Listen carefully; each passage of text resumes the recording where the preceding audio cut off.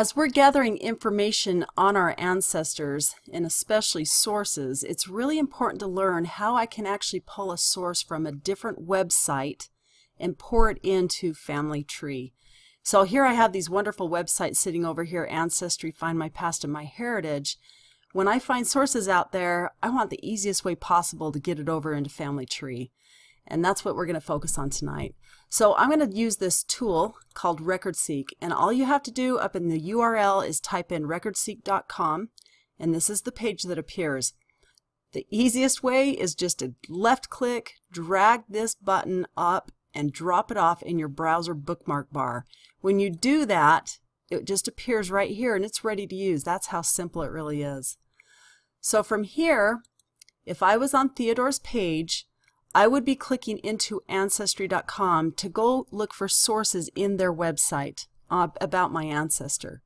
When I clicked on that, it brought me up a whole list of sources. Some are about Theodore and some aren't. As I scrolled down here, I found this yearbook source. And as I looked at it, actually it's this one right here, as I looked at it, I found a picture about my ancestor. It was amazing. So when I clicked into that blue link, it brought me here to this page right here. When I click on this view, it gives me a better picture of him, and this is my ancestor, Theodore.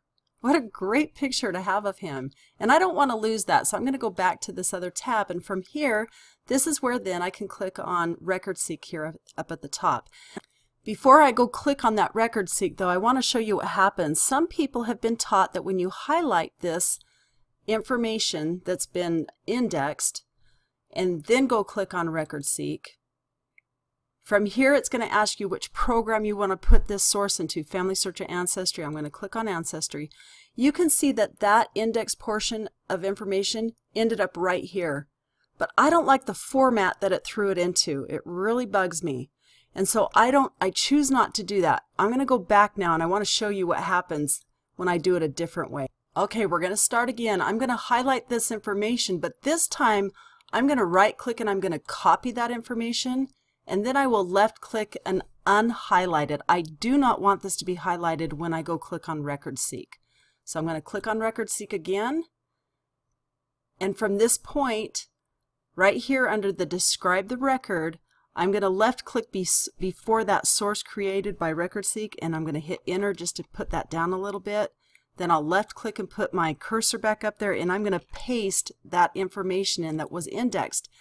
Now for me, I think this looks a lot cleaner, much easier to read than that other mumbo jumbo before. So you can choose the way that you prefer. This is just what I prefer. You can also, with the source that you're adding, you can see that the year that it was done was 1912 here, this is a collection of yearbooks. I can actually, behind this, I can add in the year of 1912, just so I know when I am dealing with my ancestor for that event. I also need to go in and tag this event, which the only thing that this provides evidence of is the name, and you can see also the birth. So I'm going to tag both the name, the birth, hit close, and then I'll come down here and click on next. From here, let me put this back in the center. I now need to go grab his personal ID number to make this really easy on me. So I'm going to come back up here to Theodore. I'm going to copy his ID number up here. And then I will go back to, let's see, where would that be hiding? Right down here. Back to my record seek.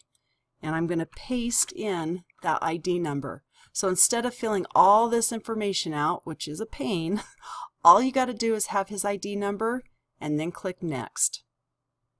Now I need to put a reason of why I'm attaching this source in here. Once I type in why I'm adding this source to this person, I'll then go click on Create and Attach.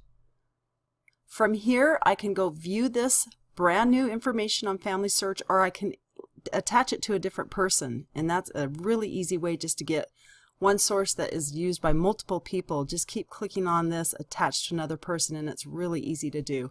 Right now we'll go back and we'll view this on Family Search so you can see what it looks like. We're back on Theodore's page and when you scroll down to his sources, that last source that we added is up at the top. And if you like to put these in chronological order, I can literally left click and drag it down where it belongs and when I get that long gray strip I can let it go and it puts it in order for me. Now let's go look at that source just so you can see what it looks like. When I click on it you can see here's that part that I actually highlighted and copied and pasted in there so that index portion sits there. But I can go click on this URL link and it actually will take me when I say OK it's going to take me out to Ancestry and it will br bring me right back to this page right here. So then when I click on this view I can then go get that great view of my ancestor. To end this just so you know it doesn't matter what website I'm in RecordSeek will pull a source from any website and pull it into FamilySearch.org. I love it. It's absolutely amazing and it just makes my life so much easier in the genealogical world.